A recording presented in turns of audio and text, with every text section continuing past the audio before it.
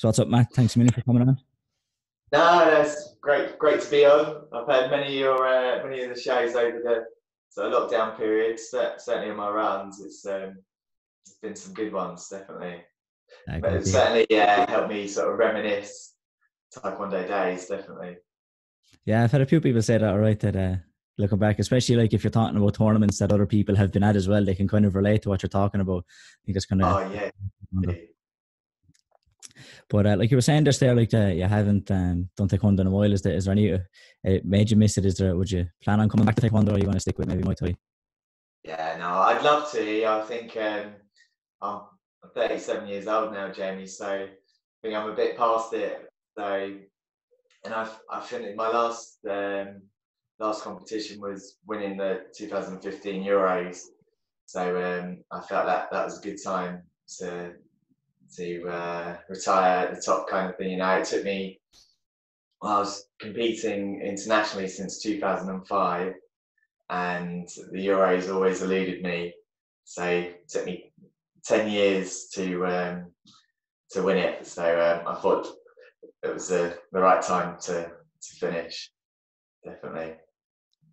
It's a nice kind of round thing, isn't it? Yeah, like the, the 10 years, win it on the 10th year and, and leave it there. Like that's good. There's something nice about them kind of round, kind of roundish kind of numbers, I think, isn't it? Like the 10 year yeah, mark. Definitely. I, um, because I, I competed in the Worlds, uh, I think it was sort of June, July time, just before, and um, and it didn't go well. Um, yeah, I, I lost to um, Poland in sort of the early, earliest rounds. Um, although I, I felt like I'd, I'd, sort of done enough to win, I, you know, you, you have to make it clear. So, and at, at that point, um, I thought it was a, I'd had enough.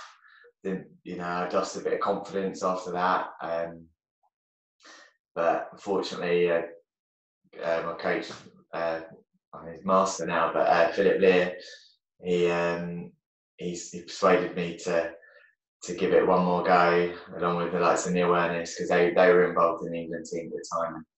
They could see like the, the good thing we had in the team, and so um, luckily I, I, listened to them and and yeah, and managed managed to win it. It was a good good one to end on. Yeah. Yeah, I think I remember that fight up against the Polish guy Rafal. I think was it was it Rafali's name? I yeah, I think it I find yeah. final of fifty seven. He was he's he's tricky. Like he was a he was a tricky fighter. Yeah. Oh yeah, definitely very tricky. Yeah. Often often the case with these Polish. They're so good. You know, I've fought so many over the years, and they've always been hard fights. Yeah, yeah, like they they're always strong. Like even like they never have a time where they're not strong. Like even when you think somebody's gone, like just somebody just as good comes in and replaces them. yeah, the, the pool they have of competitors and it's just amazing. Definitely, it's just yeah, be great. It'd be amazing if we had that here. It'd so good. Yeah, we're kind of the same. It's like it's ups and downs. Like 2017, we were we have a like we had our best team. Like we're all our best competitors that we could have put on uh, put out. And since it's kind of dropped off, and like it's it's maybe starting to pick up. Like, but it just you, you have those ups and downs. Of Poland is like they're just consistently no, they have top fighters who are going to pick up medals. Yeah, yeah. Uh, even looking at Ireland now, it, it, seems like you've got some great youth coming through, and um, yeah, the team always seems strong, whatever year it is. Uh, that 2017 was special year, wasn't it? It was awesome team. That was one year, won as well. Yeah, I won. Yeah, I won in 2017. Yeah, and then number one country win on, on home soil. That was it, it. Felt a lot better than I thought it would at the time. Like before the tournament, I didn't think it'd make much of a difference, but uh, it, it definitely did. Right. Did it put any? Um, did it give any added pressure on you? No, I didn't think so because like that before. I kind of thought like, ah, this could be. It's. I kind of felt like. I felt like no. My kind of thinking was that nobody if you win a world championships, no matter where you win it, like no, you don't get like an extra world title for winning it at home. Like nobody goes like, oh, he was world champion, oh, yeah, but, but he won it in Ireland. Or, you know, nobody says that like, oh, but oh, he won it in this place. It's like you're just a world champion. Like, know, it doesn't. But but when you do win it at home, it definitely does have an extra feeling. Like, but that's leading up to it. I didn't think like it was like, I sure if I don't win this one, I'll just go to the next one, and if I don't yeah. win that one, that, that was kind of my thinking. It's like it, it, doesn't matter where you win it. If you win a world title, you're still a world champion. It doesn't matter. But oh, definitely yeah. winning at home, winning at yeah, home. Just, a, a, nice that that memory, doesn't it? You hold it dear to you to win it in in the country you're from and family and friends there. It's uh, yeah, just just adds to it, I suppose. It's massive achievement in itself, but have have to have them there as well is is, is good. Did you have no, that um, in 2015? Nah, not, not really. Because um, it was up in Scotland, so um, not not quite home. Well, that was close. It wasn't yeah. quite home, so um, so yeah, I didn't have family or friends there, and I didn't really feel any sort of added, added pressure. It was just it made it easier, really, because it was we didn't have a have to. Well, we flew there, but it was like a quick flight. So, and we know we knew sort of what we were going into and and so yeah so it's just it made it helped really in fact you know yeah definitely I thought nearly the same in Scotland was that like it nearly felt like we didn't go to a tournament because like the flight was so short and then just where the hotel was and where the arena was it was like you didn't really like what you saw was very limited for us like you never really got it it was like it was like we could have been in Dublin that was kind of how I felt you know you didn't yeah, you, you didn't see anything to tell you that it wasn't Dublin because you just saw hotel and arena and there was a Nando's kind of next to the uh, hotel. So it was like you kind of saw uh. very little like so it could have been it could have been Dublin in Scotland. The mistake having that Nando's right by us. Oh dear.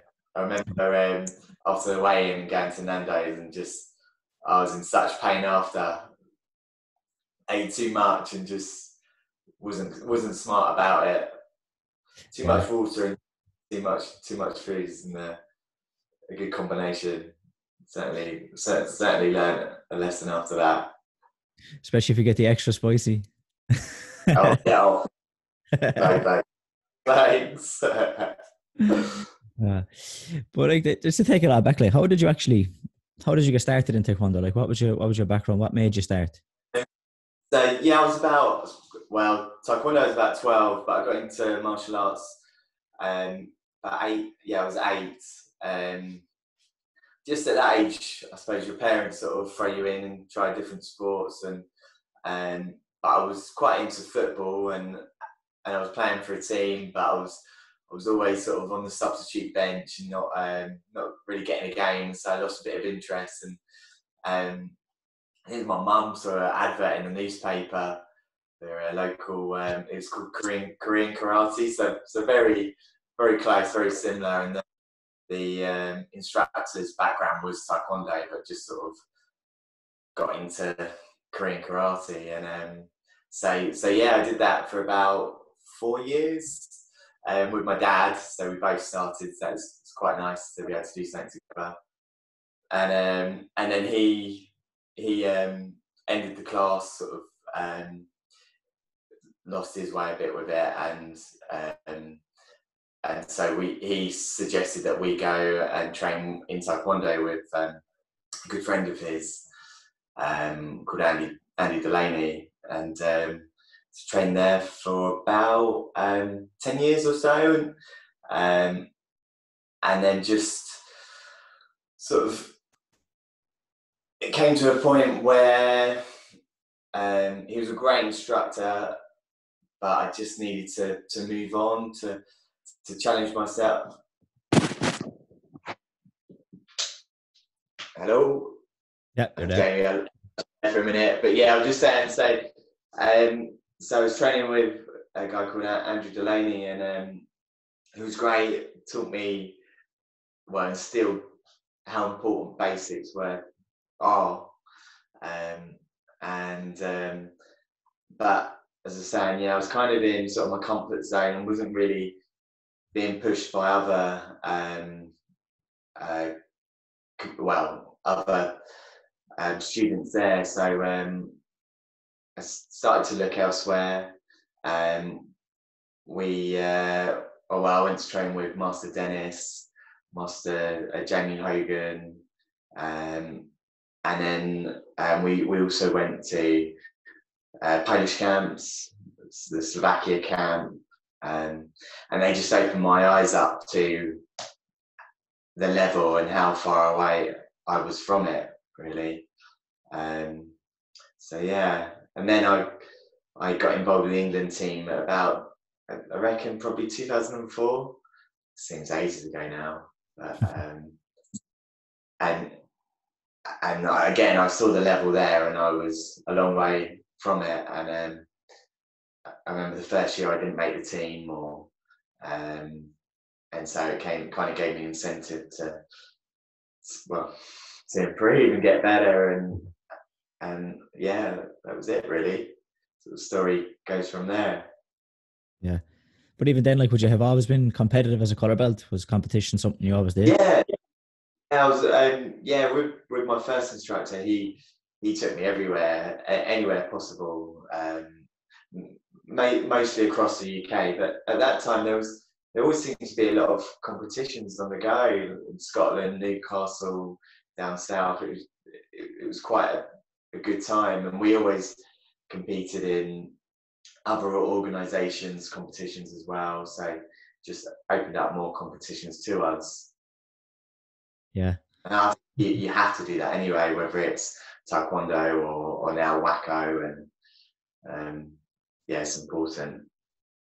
Yeah, I remember even when I was a color belt, like you, there was the way more tournaments, or at least it felt like there was way more tournaments. It felt like every couple of weeks you were going to a, you were going to something, um, whereas now it's like eh, over here we have kind of the, the four big, or sorry, the three big competitions in the year, and then isn't a whole lot. You have to kind of look like maybe sometimes you have to go outside the kind of the main art like the ITA, like the main organization. You have to go to some other like other organizations to to pick up tournaments. Yeah, yeah don't really know what that is because I like that. Like I think like lots of like uh, competing often. I think is is necessary. Like especially when you're at a young age and you're trying to develop and you just get used to stepping on the mats and competing.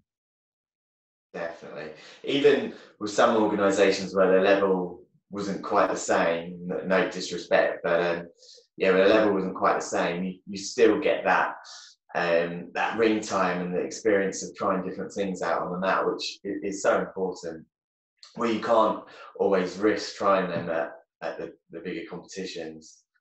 Um, yeah, the thing. Like, yeah, yeah, you still get something out of it. Even like, like you said, the competitions you mightn't be the same standard. You definitely still get something out of them. Oh, good. Yeah, yeah, exactly. Yeah. Would you have always been a would you have always been a fighter, or would you have had a time where you did patterns as well, or would been any success, uh, success yeah. patterns? Yeah, I was always made to sort of do all, all, all, the disciplines really. Not not made to, but I want, wanted to just because it was taekwondo, you know, especially as a as a junior, as a kid. That and it, you know, it's um, it was great to do everything, but as I got older, I, I realised my passion was was for sparring, and um, and so seeing the level I realised that I had to, to focus purely purely on that really, and being more passionate, it, it made it a lot easier, you know. Yeah, but would you have been successful? Like, would you have won? Would you have won many tournaments as a color belt, or like any younger days? Like, or were yeah, just... well, I did. I did actually. I remember winning um, a UKTA um, black belt competition as well, and I got uh, uh, you know all round competitor award. Um, so so yeah, so I, I, did do a few, and I think um, I was in the, done a bit of team as well. Um, an England team, we did the European Cup, and we got we medalled in, in that. So um, somehow I was hide, I was hiding at the back, so couldn't really be seen. But um, but yeah, we also did this this um, competition where it was open to every organ, well, each organisation had to put a team of, black belt, five black belts in, and we would do. Uh, you'd have to do your, your, team pattern, your um, breaking power, and then your sparring. I think it was um, it was at the O2 or or just uh, one of the arenas next to it, and um, and that was brilliant. Again, I was um, I was forced to do do the team pattern, but we sort of made it through. And, and I think we lost to TAGB in the finals. But yeah, can't quite agree with that. Zach got disqualified for knocking one of their, their guys out, and um, so did Stuart Arroyo. So um, yeah, I don't quite think it was a knockout, but um, they played on it a bit. But anyway, it's all part of the game. Not not a full contact sport anyway, is it? So yeah. But look, when Zach is coming at you like he's a big guy. I that week in, week out, and, and um, oh, used to be uh, painful training sessions, definitely. I'd imagine so, like, because uh, definitely. I always thought that was a, a one with Zach, like he, like a sound guy outside the ring, like, but then you saw somebody. He was a completely different person when the, the match started. yeah, definitely. Yeah, he um, just so trying to get out of those axe, out of the way of those axe kicks, just mental. Just, just sort of, just hovers and he just places it where he wants. You know, you know. Just he's um, so fit as well. For and he just looks so relaxed. Yeah, that's it. Like, isn't it? Yeah, just so chilled. Like it doesn't look. Yeah, yeah. It's just, it's just a depth. Yeah. Just keep, just that keep and keep going. yeah, yeah, yeah. Just comes forward, comes forward. Yeah. No, so, like when you first started up with the when you first started up with the England team, um, would you have been junior or were you kind of into seniors straight away? No, I was I was straight into senior. I didn't um, get my black belt until I was I think it was eighteen. So um, so yeah, I, I then went straight into to seniors, um, and then I it, uh, with my black belt, I sort of did a lot of local sort of competitions, um, and then went into trialing for the England team. Yeah, did did you feel like that you kind of maybe missed out because like not having a junior career, it can be hard yeah. to step up and be successful as a senior if you haven't had a couple of years of junior behind you. Oh, most certainly, yeah. It, um, that's why it was like playing catch up you saw all these England boys that who had a junior career, and um, and it just made me realise how far behind I was. Um, it, just having that that competition experience is is massive. Yeah. So, yeah, I did feel like I missed missed out on that, but I suppose it's all part of the journey, isn't it? You know, it's yeah, like that. You maybe the, the, the fact is you kind of felt like you had to play catch up maybe made you work even twice as hard. So then, like, you know, you, you got there in the end, like then. Absolutely, yeah. It did make me a lot more hungrier and determined. Yeah, well, like going into like obviously Canada in two thousand seven, were you kind of expecting to win there, or was that kind of a no, no, not at all. Well, because I, I wasn't even meant to go, to be honest. Um, I so my first so my first competition was Germany 2005, and I made the team because, in fact, I don't think there was another minus 71 at, at the time. It was minus 71, so um, so I went as a 71 fighter, and um, first round I come come up against Sweden, and he was like six foot. He was six foot four, just really tall, and I wasn't a 70, 71 fighter either. And I went out first round, um, and it made me realise that that wasn't the way I should be fighting at. So next next year, I I um, competed at sixty three, and um, and at the time there was it was a strong division, but I I managed to get to Romania in uh, the Euros 2005, and um, I come up against um, I think it was Florian, Florian, the Romanian, who, who won it in the end.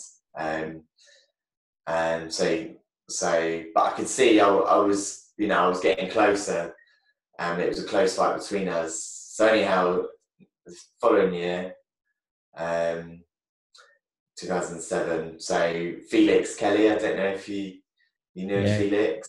Yeah, I've so heard of Felix, yeah. he, he was brilliant. So in Romania, he won. He got he won. I think um, he won sparring. He won the. Um, he, I think he won, he got three or four medals from it anyway. So then he turned turned senior, and he was so good. Um, and so we fought for the position. It, it, again, it was close, but he won. And um, so he went to the Euros. I think it was in Slovakia or somewhere, and he won. He won the Euros. Um, he was just so good, just great hands because he he was um, a, well he got a boxer as well, and that's what he went into after Taekwondo um, to focus on. But um, so yeah, so it, was he won the Euros, and it looked like he was going to to the Worlds as well. And I think he he just sort of turned eighteen, and um, but he was still in the final year of of college or whatever it may have been then. And um, so he can go. So and it opened up the position to me. Um, I think me and Stuart had to fight for it. Um, Stuart Arroyo and so anyway, I won that, and then went out to, to Wales, and I, I don't think anyone expected me to win it. I was, I was certainly the underdog. No, it, it took my advantage really because I've not had that much experience on the international scene, and um, and so no one really knew knew me and, and my style. So, so yeah, no, I, I don't think it, even the coaches. I think I, are probably surprised. Yeah, it's kind of mad how it comes around like that, though, isn't it? Like one minute you go from not maybe not even going to top step of the podium. It just yeah, yeah. Sometimes things just click into place that it just all works itself out. Yeah, I um, I believe I believed it definitely. I mean, you have to if you to to win. But um, I, at the time, I'd I'd been training with um, a guy called Soifa Rahman, he was a good, good friend of mine and um, so he was a junior. He was just, I think he was like 17, 18, and he was junior. And so me and him trained six days a week with with his dad, Habib. Um, and although he's he he didn't really have any experience in taekwondo, he he'd um, he'd been with Soifa the, the whole way through his journey in taekwondo, and so he'd studied it, watched videos, you know, and analysed certain fighters. And so we trained with him. He would hold the pads, put the, the, body shield on as well, and then and we would just train six days a week, sparring, sparring drills, and you know, I think one session I, I, I knocked Soifa out. We just we trained hard, but um, it, it it was good good training, you know. Um, and he went on to win um, the worlds he, he was just on fire, just brilliant. And he'd come up against uh, Julio Carlos in the yeah. final, finally. And um, yeah, yeah, great final. I think that went to um, an extra round and, and he won it. Um, and so, and then I went on to win the senior division and just showed you that, that what we were doing, our training that we were doing was was right and effective and it and it worked. You know, it was um, and to see Soifa when it gave gave me the confidence that I could do it as well. So yeah, no, it, was, it was good. We got a really good feeling for both of us to win it. It would have been, yeah, it would have been hard if he'd won it and I, I'd not, or the other way around. Definitely. Yeah, again, like that, it works itself out. Would, would you say that was the hardest? Like at that point in time, would that have been the hardest you would have trained? Was leading up to that tournament? Yeah, yeah, yeah, certainly, yeah yeah, just um, yeah, we we used different approaches and uh, we were smart about it as well. You know, we we, we did watch a lot of film and and talked about different combinations and counter attacks and drawing opponents in and just different strategies really and that I've not really not really done done much work on before, you know, or not really thought it as as um, sort of deeply as, as we did. Yeah, but then like there was I suppose you kind of you said already there was kind of some gaps I suppose between when you won like stuff like to 20, 2007 to 2013 like why do you think there was maybe that big a gap yeah. I suppose between when you managed to get back on the top step of the podium? Yeah I mean I, I, I um so after 2007 I, I didn't um, compete in another worlds until 2013 I was just a bit bit unfortunate with back injury. Um, our group training that I had with Soifa and his dad sort of um, ended. He, he moved away um, with university, and, and so um, I, I, didn't have an instructor. I didn't have a, a full time instructor until I met Darren Anderson. Um, and I, I, regressed a little bit. I think I, I, put myself under a bit of pressure being world champion. I, I um, I, I let it affect my um, my performances men- mentally. Um, so I had to work on that as well. Um, and then, in, yeah, when I um, came to meet Darren, um, we formed a um, a club. Well, he formed a club, but it I was quite heavily involved with the rest of the team, which included Zach Espy, um, and Shane later on from Ireland, I'm sure you know well. Yeah, he's from my um, club. We start like that. Like he's. so we try, we trying to get in the same club like when we would have been well he would have been a good bit older but uh, yeah we're actually from the, the same club oh, realise for you uh, no, uh, Mog's all right no, really good guy good, good to train with ah yeah song guy uh, I always see that one's always takes a few minutes because he was always Mog around the, around the club, and then like when he went over there, it was Shane. So then anytime you hear Shane, it kind of it takes a, it takes a second to kind of click of who you're talking about. Yeah, yeah. Likewise, when I hear Mog. Yeah, yeah. You know, yeah. But yeah, no, he, we, yeah, we all worked so well together, and we all put in our own ideas to Darren as well. He, his um, background is um, strength conditioning, um, and uh, sports performance. So he, yeah, he always listened to to us, and um, and it worked really well. You know, Zach won a lot of a lot of competitions during that time. Although he was always winning, so it, didn't really matter. But um, but yeah, no, it was a good good team. So it's kind of the same sort of thing I had with with um, Soifa and Habib a little bit. Um, and I would do, we would do a lot of one to one with Darren, um, pad drills and, and yeah, and, and strategy and fitness because he was a strength conditioning coach. He would write us these programs and they're just mental, just so so tough. Like, 2015. I don't think I've ever been that fit. He just, yeah, works really hard. Yeah. Um, and going back to 2013, uh, um, yeah, I did regress a bit, and then I recall um, Julia Cross said to me after I won the the uh, the worlds in Canada. She said to me, you know, "Now it gets even harder to win it. You know, you've got to show you can win it again to prove it. It wasn't a fluke, and that that that was always on my mind. I think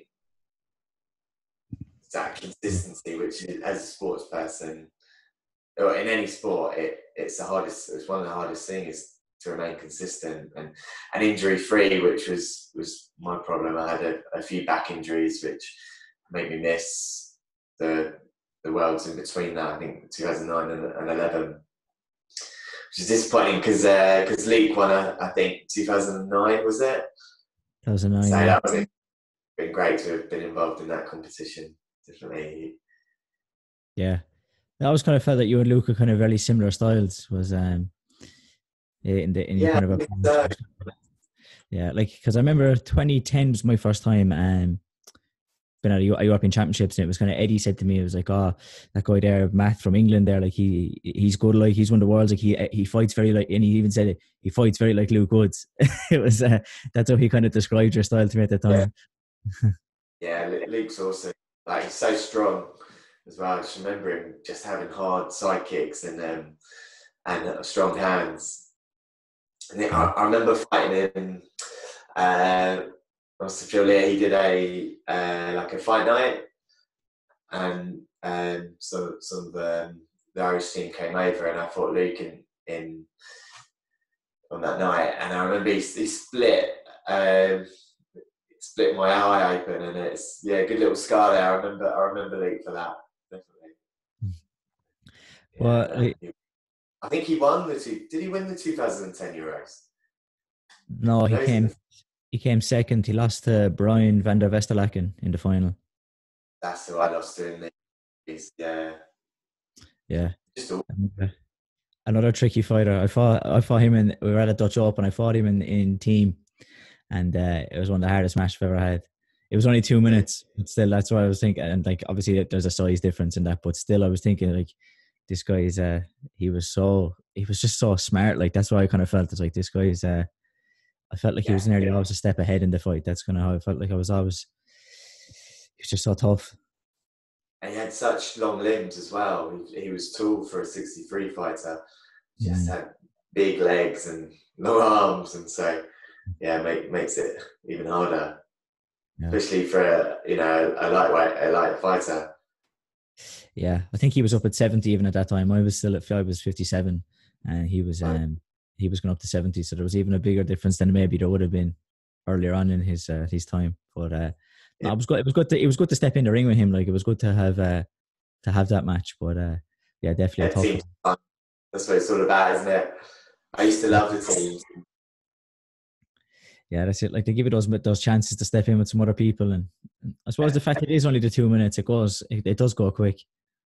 Yeah, it does. And um, you know, likewise for yourself, I was normally I was certainly the well, certainly the smallest fighter in our team, and so um, so yeah, you just got nothing to lose, and um, just sort of like uh, give it your all, don't you? Really, just just want to get out there and fight this fighter and, and beat him.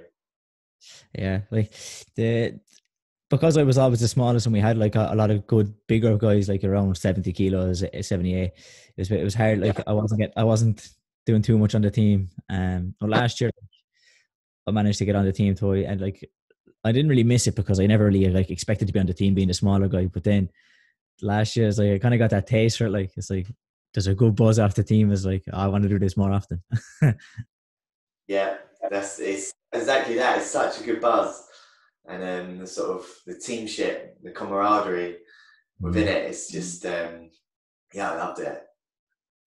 Yeah. So, um, so you think you'll be more involved with the team? Is it a more experienced competitor for Ireland? Hopefully, that's like I think. I think I definitely bring that. Um, like that. Uh, like I'm a big enough 57, I suppose. Like I'm kind of, I could be 63. Um, so like by the time the team comes around, I probably am 63. so yeah, like, exactly. So yeah, definitely I've a lot of experience. I know a lot of the guys. Like, so that's it. Like I'd like I'd like to be involved in the team if the if the coaches keep letting me. Yeah, definitely. To have someone with your movement as well is is a nightmare for any bigger fighter. You know, it's um, yeah, I think so. Like just going back to into like 2013, like you said, going into 2007, that uh, you kind of felt like not a lot of people would have known you, and like you were, I suppose, do you think you kind of had the same thing in 2013 that not a lot of people were kind of maybe taking much uh, notice of doing? Like I know Julio maybe going into that tournament was like uh, it would have been I suppose the favorite even not just going into like going into the tournament and then as well maybe going into the final. Like, yeah, because he he was uh, he won the 2011, didn't he? So he he was defending world champion. So um, yeah, maybe I, I may, maybe people might have forgotten who, who I was, forgotten about me. But on, on my side of the divide, I did have a lot of European fighters, and I I'd, um, I hadn't missed the Euros, just the world. So um, and I fought and uh, I fought Kazakhstan in the first round. It was tough fight. And then I fought, I think it was um, Finland. Um, again, another another tough fight and then um, at latter stages they come up against uh, Norway. Um, Irvind, Irvind. Yeah, yeah. know him? Yeah, yeah, it's a friend of mine, but I don't even can't even pronounce his name, can I? um, but yeah, so and he uh, he just come off the back of losing in the European finals against Sanel. And so, and he's he's a really good fighter. So that that was a tough fight, and we knew each other fairly well. And um, yeah, fortunately, I, I, managed to win that. Um, and then I come up against Sanel, who was um, yeah defending European champion at the time, and um, and so that was a tough fight. I think it went into he he'd beaten me in a previous competition before, um, so I, I owed him one definitely, and um, and so I think that went into an extra extra round, um, and again, yeah, I, I won that. But it's such a hot. I don't know if you remember it, but it was the stadium was so hot. It, oh, just remember sweating buckets. And then after after that round, after the semi final, I, I um, I was grabbed by the the doping the doping guys and I had to go go and have a um, a, drug, a drug test. Uh, so that was quite a, a, new experience for me, and I was shattered. I, I yeah yeah. Couldn't have waited after the final. I couldn't have waited till after the final, like. I know exactly, and I was um, I didn't have I'd sweated everything out. I didn't have any sort of um, anything to to pass water, so that they were waiting for a little little while. the, uh, yeah, after the Worlds in Ireland, after the Worlds in Ireland, after I won, and it was nearly all the guys. Like it was, I got tested, Adam was tested, Ryan was tested. There was a couple. Uh, I think uh, Sebastian, but the guy who won plus eighty five was tested.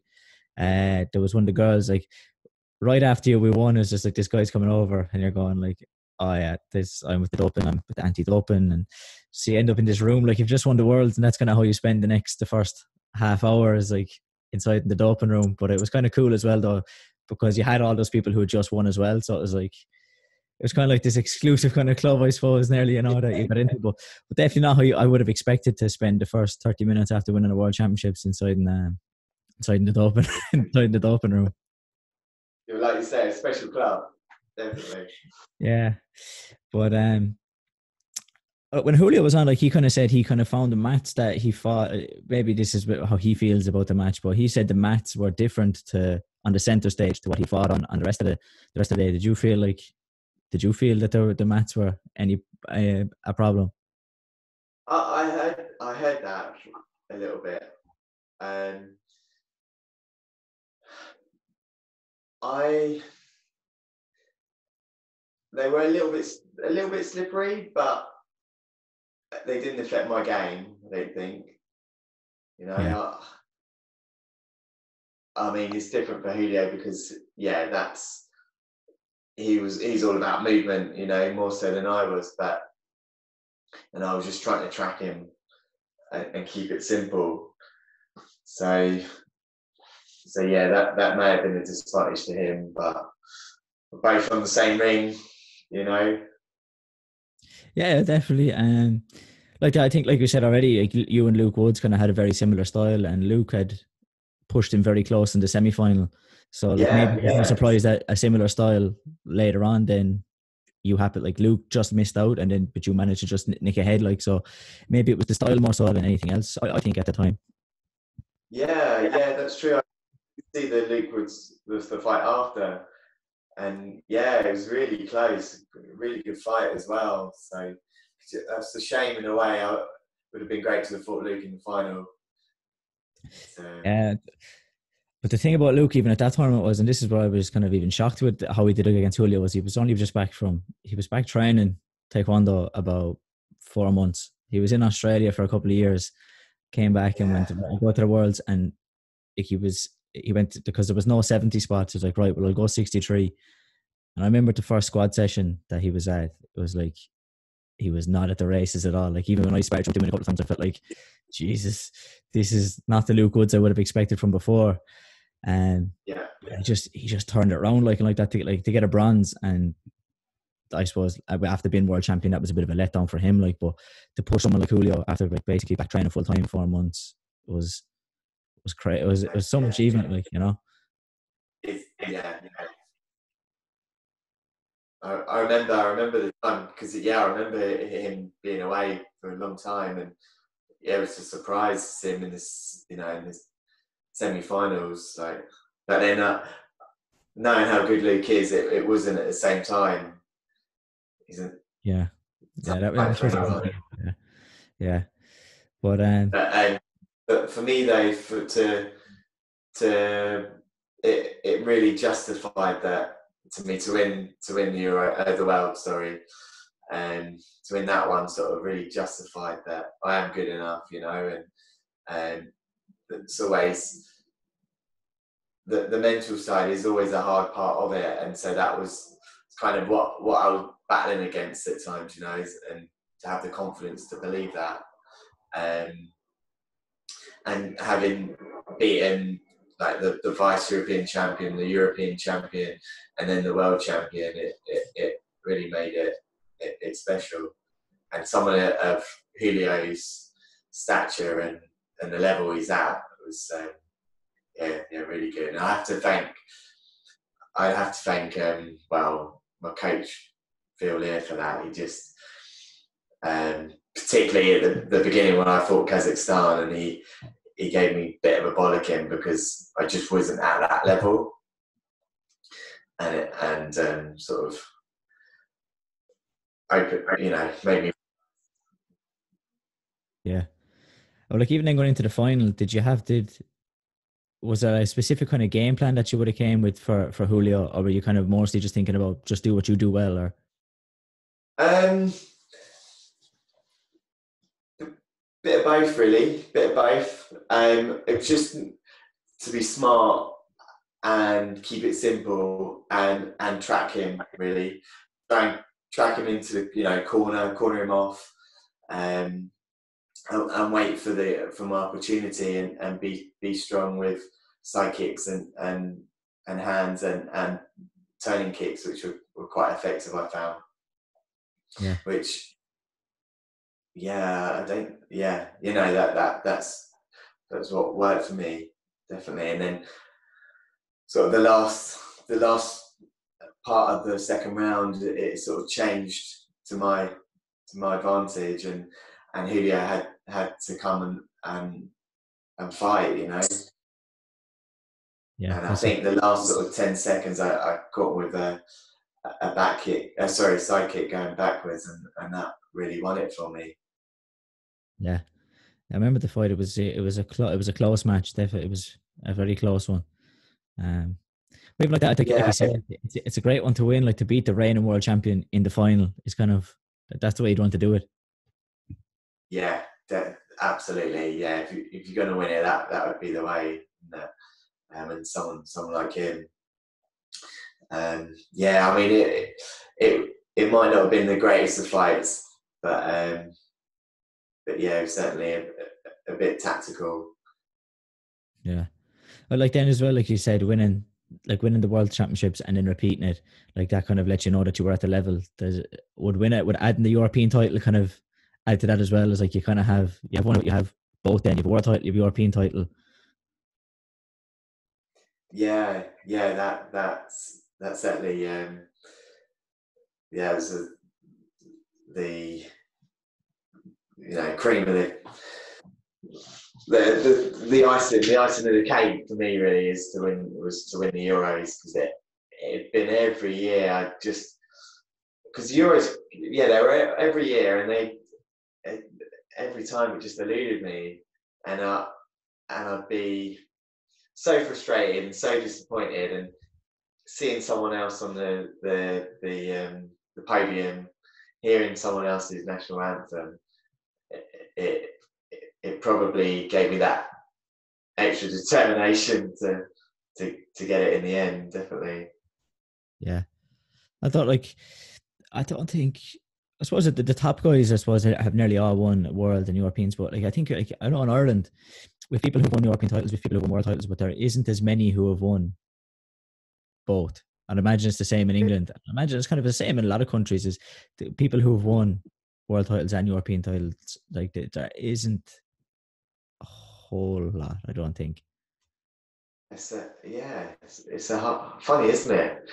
It in a way, it doesn't it doesn't quite make sense to win a world championships and and not Europeans. Or certainly it did for me. I you know I just can understand how how it took me so long, but the, the level's so high that every competition is different and and um, comes with different challenges. Yeah. How did you find in Scotland fighting somebody from from England in the final? How how did you find that fighting Ruben? Yeah, that that was quite tough because you know he's good friend, so you never you never want to um, fight a friend in the certainly in the final as well. And, and secondly, um, we we trained so much together during the squads over the years that we both knew each other so well. And fortunately, I um, I, I, had competed against Ruben in a lot of local or, um, or regional competitions, and I'd always won. Um, so I had that confidence that you know I, I could I could beat him in the final. Um, but yeah, we as I say, we just knew each other so well that it, it made it a, um, a tough fight, really. Yeah, It's like that. Anytime it's happened for people in art, like it's great that it happens, but it's kind of, but it's always just this weird feeling as well. You know, like it's because as a team, you, as a team, you can't cheer for the person who's won because you have the person who just lost. It's there's just this weird dynamic that sometimes happens when you're against somebody from the same country.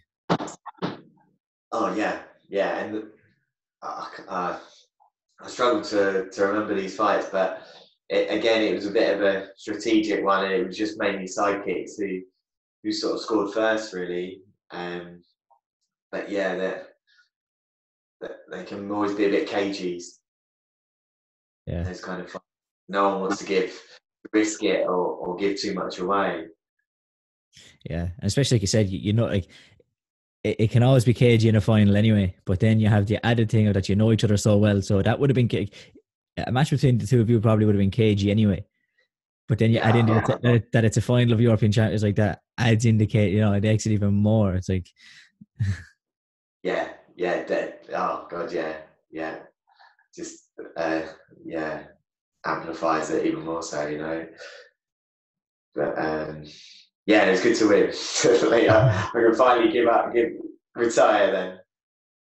Yeah, had that been on your had that been on your mind though? Had you had you thought like if I win this, I'm going to retire or? Yeah, yeah, because I already in my head I was I was stop I was stopping after the Worlds, and um, and and I was yeah persuaded to come back, and so I I, I said like okay, but just this one, and then I, I think I'm done. Just also it, it takes its toll, number of competing and squad squads. You know, three hours every, every Sunday, traveling to the middle of the country. It, you know, it just takes its toll really. As much as I enjoyed it, and you kind of want to do other things, and yeah. But so you, it, it was right. Yeah, but but if you hadn't won, do you think you would have been persuaded to come back for another one after? Probably, you know me, easily persuaded as well, mate. So um, yeah, yeah, probably. Yeah, the, the, one the, more, as they say. That's it. Like there's always one more. yeah, yeah. What what kind of prompted what kind of prompted the switch then to how did you end up in kind of fighting in Muay Thai then? Um, I sort of I'd always sort of dabbled it in it across over the years because I, have got a good friend um, who um, who runs a, a, a, gym with his dad, a club with his dad, and so and they they always sort of well he always tried to he always encouraged me to go. So I sort of dabbled in a training session every, every other week, or you know when I when I could fit it in really, which is always difficult when you're doing taekwondo five or six times a, a week. But um, so yeah, so that that was kind of how I got into it and, and really enjoyed it. And then after after the Worlds in 2007, in, in 2008, I um, I decided to go to Thailand for a couple of months just to, to train train in Thai and Muay Thai. And um, and at that point I I'd only done a few sessions but I thought oh sod it let's just um, get you know it's an opportunity to get away and, and try something new. And uh, and so I'd always sort of wanted to go back to it at some point yeah what was Thailand like? What did you enjoy that? Have you been back since? Yeah, no, I love it. I've been been over there like well five six times now, and um, yeah, every time you go, it's just a it's a hard experience, but a good one at the same time. You, you come back so super fit. Um, yeah, it's it's another level out there, definitely. It's just it, just watching the kids do it, it just they're just nuts. They're just so good. They just live and breathe it as well. So, um, and you, you, get put in a ring with one, and they just they, they throw you about, you know. Yeah. Did you did, were you tempted to fight over there at all? I'd, I'd like to. That that was kind of my ambition this year. Um, and always, well, it's taken me a long time to sort of um, well, I wouldn't say I'm good at it, but I'm getting better at it, you know. But so it's taken me a long time to get to that point, and um, because I really had to change the style. The style between Taekwondo and, and Muay Thai so different. It, it's taken a long time to sort of um, to get used to Muay Thai, you know, and and so so yeah, my ambition was to to go this year and, and just have a fight over there. Um, but yeah, I don't think it's going to happen now. Unfortunately, it's uh, yeah. Who knows?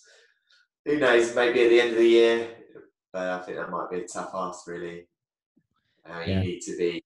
You need to be like have a good training camp over there, and then go over and have a like couple of weeks training camp there, and then be ready ready to fight. Um, so yeah, that that's my because I'm still I'm still like fighting C and B class here. So um, yeah, that's that was also my aim to have to fight this year in, in A class and um, feel like I'm I'm I'm kind of ready for it now. I'm ready ready to get elbowed in the face anyway. Yeah, that's kind of I suppose the big jump up, isn't it? And then the elbows to the face and stuff yeah. we, we, we practice in it, in it. You put the, the elbow pads on and, and, and fight, but um, it's not quite the same, is it? To be honest, it's a nice bit of padding there. Did you find much of a, a difference then changing from like the, I suppose, tatami kind of ring to you've got ropes and you can't go anywhere? Yeah, yeah, because I, at first I was very sort of um, bouncy, I suppose you'd say. So I, I, I moved a lot, and so you know, I'm sure you've seen a lot of lot of fights. The, the guys just stand in the middle of the ring most of the time, and, and there's not too much movement. And so, although sometimes that does come to my advantage, at sometimes if I want to if I want to move, I, I've got good movement. But um, but yeah, it, it, it's taken a long time to sort of drill drill out some things from Taekwondo that, that don't work in in Muay Thai.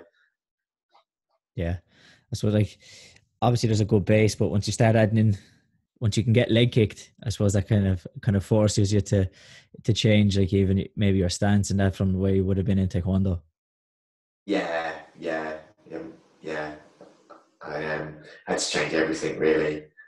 uh, is that it gives you uh, taekwondo has given me such great base. You can you've got such a big vocabulary of, of kicks you can throw in the um, some some fighter might not expect it, you know. So it's always good to have. Yeah. What about yourself? Have you, have you tried it, Jamie, at all? You, would you think of? Um, I'd be tempted. Like, I'd love to. I'd love to try a couple of different things, I suppose, uh, at some point in time. At the moment, I've been um, just taekwondo, but maybe at some point I'll try maybe some Muay Thai or I'll try some I don't know even maybe Jiu Jitsu or MMA. I'd, I'd I'd like to I'd like to try something else. All right, um, just to experience it. Um, I think yeah. it'd be good, but at the moment, no, I haven't. Um, you see, it sound like listen to your other podcast. You have good knowledge of all sort of martial arts. So yeah, I love to just I love to just watch. Um, I love to just watch fighting. It's no matter what it is, like it's boxing, Muay Thai, MMA. I just love to watch fighting. Just I just love yeah. it. Hard not to, isn't it? I'd, I'd rather watch that than than any other sport. Really, it just doesn't excite me the way way fighting sports do. Really, it's yeah, it's especially with the likes of one championship and um, UFC. There's so many things you can just watch now. It's just so more accessible than back in my day. Yeah, that's it. Like there's, and especially like there, it's kind of the I suppose more sports are coming back, but the last while, it's been obviously the UFC has been back mostly, and then there's been some boxing has came back, but like it's been it's been combat sports that have been kind of going throughout the whole coronavirus. Yeah. So um, yeah, it's you, you haven't had to like. It's been easy to find a time to watch them. yeah, definitely. Yeah, exactly. Yeah, yeah. How long do you think you'll keep fighting with? Uh, how long do you think you'll keep fighting with Muay Thai? Yeah, uh, just for as long as I as I feel I can keep going. Really, I still feel um, fit and in good shape and um, pretty injury free. Um, so so yeah, so I just I just want to um, try and fight. My ambitions are to fight a a class and to fight in Thailand. Um, so I think once I've done that, I, I kind of I like like to have a few fights, mind you, but um, yeah, they're my ambitions. So yeah, yeah, I think once I've done that, I think uh, I'd, I'd be happy to to call it a day at some point. Especially when other things get in the way as well. Life gets in the way, doesn't it? And it's yeah. alright if you're a professional fighter or athlete, but yeah, just work gets in the way as well. So of course it makes it harder. I'd also like to to one day open up my own my own club, my own, own gym, um, and teach sort of uh, taekwondo, of course, and and perhaps like K1 and and Muay Thai. So that that would be the aim. Yeah, is teaching something you would have done a lot of anyway? Like, would you have done much coaching throughout your time? Um, I've always I was involved um, in my first club a bit, and I used to take a few sessions and um, and help out whenever, especially with the juniors. And I've, I've always sort of been involved with any club I'm at, you know, trying to help. But um, but yeah, no, I've not done it on a proper proper full time basis kind of thing, you know. So yeah, I'm sure it's very different yeah. I suppose like when you it, it's a different ballgame when you're in charge of the younger kids and uh, uh, uh bringing them. Will you need to brush up on the patterns? Yeah, yeah. I said to, I said to myself, um, I was going to practice them every day during the lockdown, and I, have not done one one single pattern. So not yeah, good. I'll, I'll, get to it. I'll get to it eventually. It's just like I'll go for a run instead, or I'll go and hit the bag, or, or, or whatever. Um, yeah, like the patterns can be tiring, but I think you like like I said, running, or hitting, running or hitting the bag. Though I think you feel it, it, can maybe sometimes give you give you that sense you've done a bit more. You've put in some hard work as opposed to doing a couple of danguns or a couple of Gae-Baeks or a couple of whatever patterns, you know. Yeah, I will, I will do it. I will do it. I need to. I need to. It's, um, it's a, a nice art form to do, and um, it's a big part of taekwondo, and um, so yeah, it still means means something to me, definitely. So yeah, I, I need to get back to it. Try and get back back up to um, the uh, black belt patterns. Yeah. So we could see you at the Europeans or World Championships as a coach. Go, go down the uh, line. Yeah, you know what? I'd love to. I'd love to actually. I'd love to because I feel like I've got a lot of experience to give back and so I'd, I'd love to be involved involved in in some way, or it just be you know on, on the sparring team, or um, I don't know. Just I'd like I would like to be involved at some point. Um, I think that's that. I need to if that's what I want to do. I need to, you know, make those take those steps to to get in there, um, which I kind of understand. It could, you know, it's a long process. There's a lot of good coaches out there, but I also yeah. feel that there's not many people that have that have my experience. You know. Yeah, definitely. So like yeah, it'd be good to, yeah, it'd be good to have somebody like like you said with your experience, and um, like and like your success as well, like to have that around around the team would be good, I suppose, for Team England to have that around, especially juniors coming through yeah. and help help build the team. Yeah, thanks, Jamie. I think it's it's like any sport or any martial art. It's, it's how it keeps going and evolving. Is people give back to it, you know, and I think that's you know all part of the cycle. So um, so I yeah I, I I would love to do it. I think yeah. it'd be um, quite it'd be quite fulfilling. Yeah, uh, definitely. Uh, like, like I said, sorry. Are you coaching then, Jamie? You... Yeah, we're coaching and teaching classes in um, in Shannon in our club. Um, been doing that good for years now. Um, so yeah, that's kind of what I've been doing, teaching, coaching classes, to coach kids mostly. But uh, yeah. And do you, do you do that full time? Yeah, pretty much. Um, wow.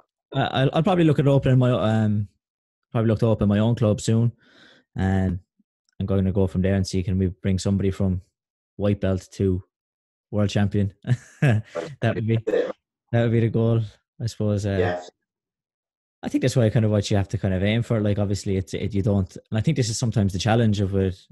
Opening a club is everybody wants to go. I'll open a club, and within six months or a year I'll have people on the national team, but I suppose it's not really the way it works. You know, there's it's a long commitment to to just get people to black belt, then to get them good enough to get onto a national team, to get them good enough to win medals at a, at the championships. It's it's the if you just look at a championships, you think, oh, I want to coach at one of these and coach a, a student at one of these, but there's a long process behind getting a person yeah. to there.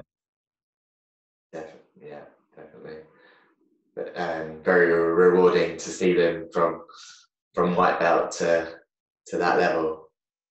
Yeah, that's the thing. Like, definitely is rewarding. But if you're getting into, I think, going, oh, I want to be, I want to be sitting in the chair, but my student is on the floor in the final of a world championships. It's well, like that's kind of the glamorous side of it. It's like there's a lot of other days when you know eh, when you're in, when you're in maybe a cold hall and that student is only a green belt and you're trying to progress them. That's you know there's that side of it too that a lot of people I suppose if you look at a world championships, European championships, that people you sometimes forget. And I think um, you have to be ready to make that commitment. I think is the thing when you're opening a club and looking to to commit to having kids and being responsible for them progressing. You have to be ready for those times as well. Yeah, yeah, yeah. I, I see where you're coming from, definitely, and I, I, I kind of see it with myself and when I was competing and I'd have other coaches coaching me, but your own coach is, also involved and, and, put a lot of hard work into. You know, it's yeah. yeah. See, see. Do you find like? Did you find because I suppose you kind of jumped around, uh, not jumped around, but did you? You kind of, you didn't really have that kind of one coach that you started with to, to all the way through. Like, so did you did you find it hard sometimes jumping around, and then sometimes maybe you were training with obviously you know um, uh, Mr. Anderson, and then you know maybe Phil Lears in the you know Master Lears in the chair. Did you find that was kind of hard sometimes to adjust or to work with different people, or? Um, I was I was quite lucky because um, well Phil Lear I sort of um, he's such a good coach and he he's good with every competitor. He he, he understands them and um, tactically knows what's right for them. So it it, it, it, it yeah, it was quite an easy transition for me to work with someone like that. Um, I was always uh, lucky to have a good coach from the beginning with um, Andrew Delaney, and then with Darren, he he understood me again. So and he knew what my um, my strengths were and, and, and weaknesses. So yeah, I, I, didn't really really struggle um, too much. Yeah. Um, I'm, I'm probably quite a well, I don't know, but quite a simple fighter. So um, so yeah, so I, I know, but effective. Sorry, mate. But effective, simple but effective. Yeah, exactly. Simple basics. What what worked for me, and um, so so yeah, I like to think I was I was quite easy to work with. Or, yeah. I hope so. Yeah, because personally, I found like that's for myself is a is a big benefit. The fact that like Adrian has been obviously my coach all the time, but then he's also been able to to coach me these tournaments. So it's like I just have the consistency all the time. It's the same person, um, uh, which is right, uh, right. it's it's no, it has been once or twice um, where I've had different coaches and I didn't fully perform there. Like I don't know, it was a it was probably more mental than anything. The fact that you know anything that was said on the chair, but I think I am lucky in that respect. That I train with the same. I've trained with the same person all my time, and I've had the same person pretty much coach me every time. It's a, I, I do feel that that is a, a big help. Yeah, yeah, massive. Yeah, that's so good. And, and uh, so was Adrian in in your um, corner for the Worlds in in Ireland? Yeah. all the time. It's only Benidorm.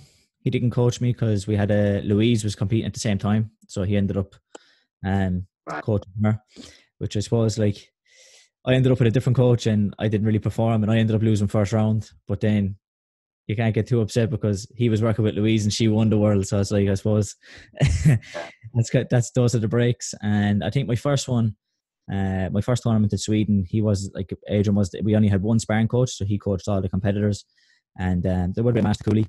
I found like uh, a great coach in that, but just I just prefer Adrian because that's the person I work with all the time. But uh, they're the only two times really that uh, European Worlds that I haven't had Adrian coaching me. Um, but yeah, all the other times he, has been there, which has been a help. Uh, pretty good, good record. Yeah, but then I see some like like Adam Shelley. Then like has, has jumped around like he trains with different people, but then like has never had his own, I suppose, instructor as a coach at a tournament, and has had different coaches like from different times and still wins. So like like that, I think just depends, I suppose, on the person, doesn't it? Like you said, like you had a couple of different people. It just depends. Yeah, yeah. Oh, good. Yeah, yeah, yeah. It does depend on the person completely, and and yeah, it's lucky to have that uh, relationship you have with with Adrian. Yeah, that's the thing. Like, like, he just he knows me, and I, I find sometimes even just I don't know if you have this like, like if you kind of have the same the same vocab like you understand like when he's talking about a, a certain thing a certain situation you kind of have that understanding because you're kind of working off the same hymn sheet i suppose. Whereas i find sometimes that when you have a different coach they might be saying what they say to you you might take that that might mean something different to you because you're not used to working with that person. But i think like once yeah, you have yeah. that work if you can work that out and you, you kind of have that kind of understanding then it, it should be good. But uh yeah. yeah.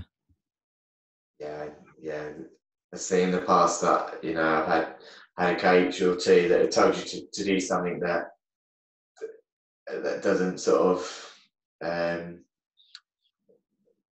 it doesn't work for you, you know, it doesn't it, yeah. you know when you're back in the corner in the break and he's telling you to do something, it's it's hard for you to sort of compute that in your head and how you can do it, and so it's important you have someone that that knows you as a fighter and um, and your strengths definitely, and what works for you, and and what works for you to win the fight. Yeah, like because even what they're telling you, it might be correct, but it might be correct for somebody yeah. else. It might be correct for somebody yeah. else. It's like it does. It's not going to work. For you. Like you said, it's not going to work for you. It's like it's not that they're telling you what they're telling you isn't. It could be correct. It could work. Just it's not going to work for you. I think kind of is the way it is sometimes. Yeah, yeah, just understanding your your competitor really your yeah. I suppose just before we finish up, I, uh, I tend to ask uh, everybody if you had to pick, if you had to pick a favorite fighter uh, across any sport, it could be taekwondo, it could be boxing, any any sport. If you had to pick a favorite fighter, who would you pick? Oh yeah, I was, I was thinking about this one before because I've, I've heard you ask it, and I like many people have said before, it's such a tough ask, isn't it? Because there's there's in if you're just looking at taekwondo, which you know is there's been so many good fighters during my sort of era as well. The likes of Neil Ernest was a, a big inspiration for me, and Tom Sparada, and such good fighters. Um, but then you've got so many different good Polish fighters from um, Miłosz, who I fought in the in the worlds, my first round in the worlds in 2007. One of the best fighters I've, I've come up against for sure, just with his, his movement and and technical ability.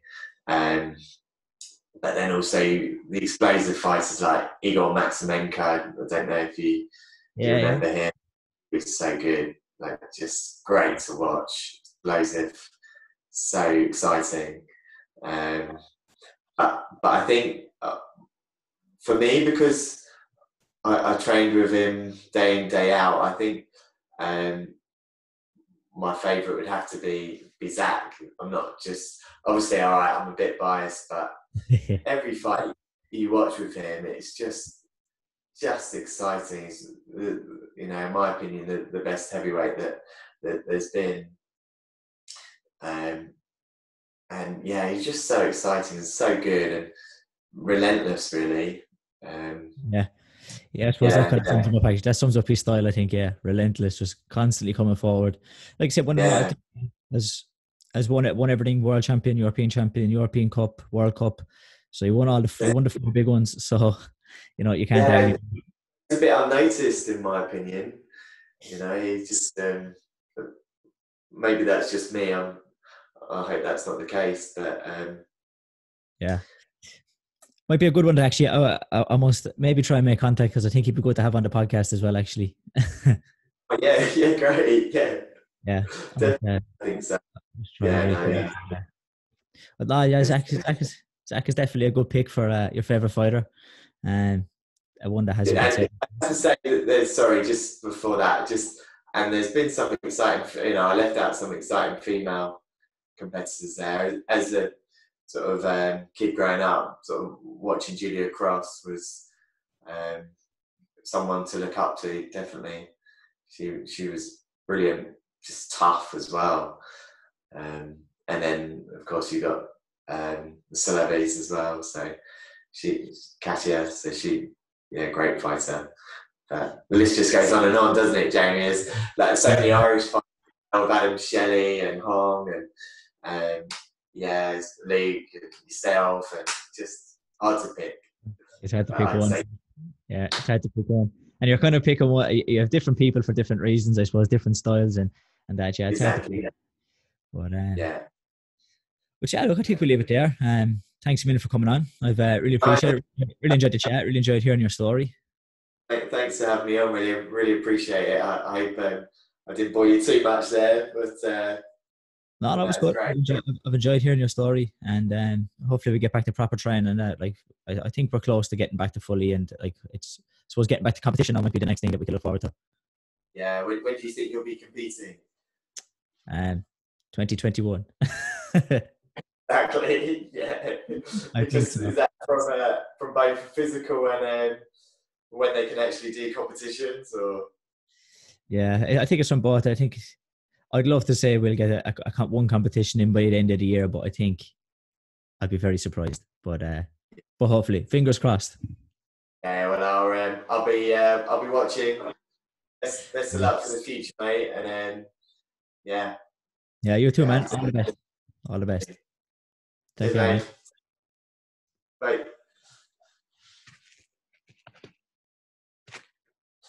Bye.